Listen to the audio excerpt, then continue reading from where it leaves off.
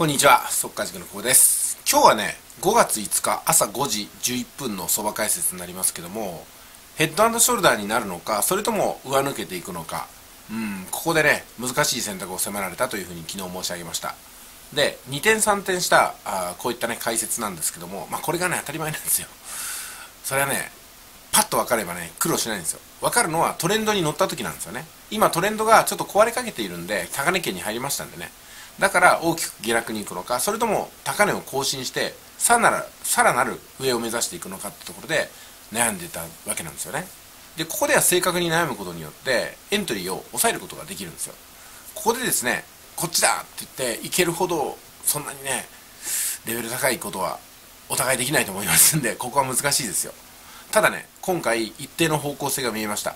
そしていつ何をするのかってことが説明できるようになりましたんで、その辺をちょっとね、お話していこうと思います。まずはいつもの通り、デイリーからです。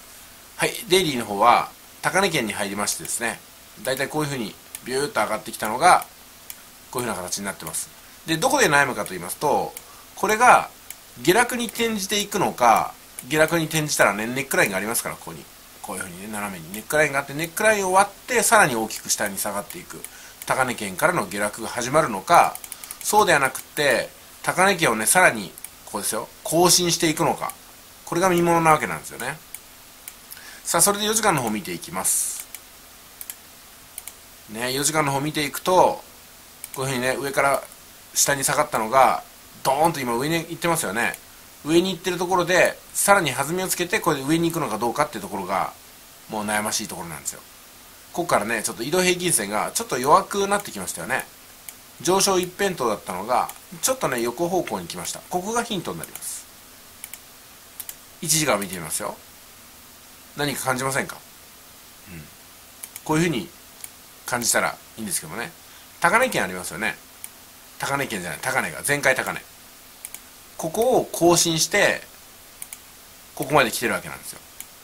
で、これがですね、今回、更新しないまま落ちていったんですよね。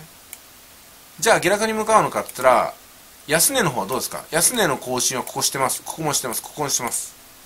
ここもしてるんですよね。で、高値の更新をしてない。さあ、これはトライアングルじゃないかなというふうに見えるんですよ。こういうふうな形で三三角ができてるでしょ？収束に向かってるんですよ。横ばい収束に。どうですかね？こういうふうにレンジを取れないでもないですけども、どちらかというと、この幅が広がってるでしょこっちも。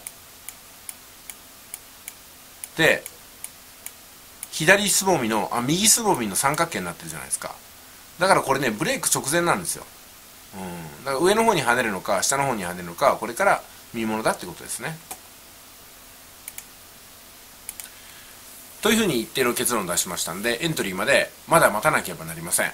ただ、ブレイクした方向についていくことによって、リスク少なく大きな利益が求めていけるんじゃないかなと思います。これはトライアングルのいつものね、三角保ち合い。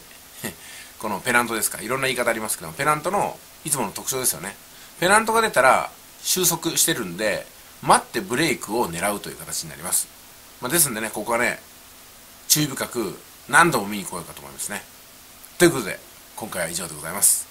どうでしょうか今回、高値圏に行って、下落に始まるのかなと思ったけど、下落せずに、ヘッドショルダーできずに、上昇に向かうのかなと思ったら、いまいち上昇に乗り切れずに、のわけが分かりましたね。収束してるんですよ。そして、ブレイク直前だということですよね。これもいつものパターンです。さあ、しっかり取っていきましょう。いってらっしゃい。